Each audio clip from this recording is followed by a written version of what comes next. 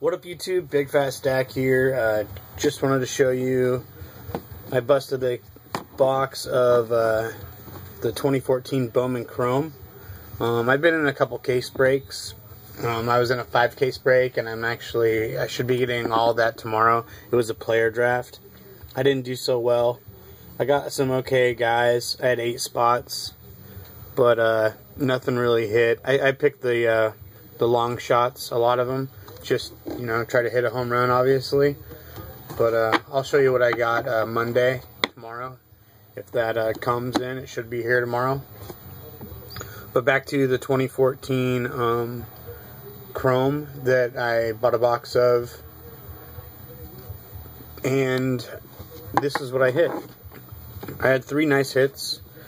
I didn't hit any, uh, I hit a Tanaka rookie card. I don't have that right here right now. It's in a pile of cards. but I should have saved this for second to last, so we'll go ahead and do this.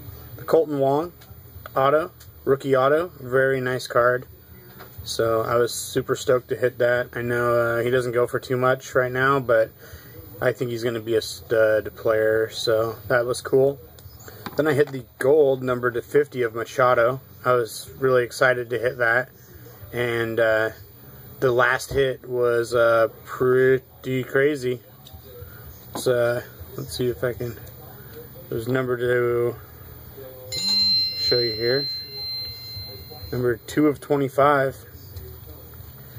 And Silverado Refractor, number to 25 of Nick Castellanos. So that's pretty crazy. I don't know what the odds are of hitting this card but that is pretty sick. So that's what I hit out of that box. I was uh, pretty excited. I mean, those are all three solid players. I think two up and comers and one great player there. I know he's been hurt, but I think he's going to be a great player long run. So thanks for watching YouTube. As always, PIF, pay it forward.